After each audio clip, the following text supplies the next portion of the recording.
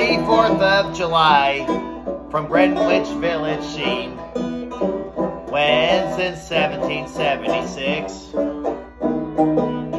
It's gonna be amazing to watch some fireworks like I did at Ribfest last year. So I watched some fireworks.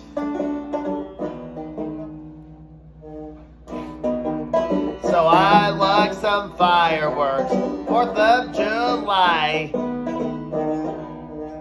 So I'm gonna see some fireworks.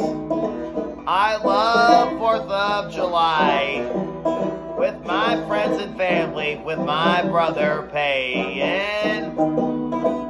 So I'm looking forward, see some fireworks. Looking forward a happy 4th of July.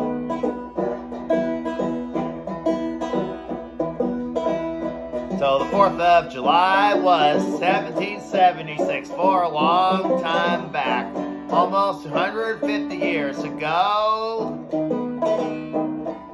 So was Delaware was the first United States, July 4th of 1776.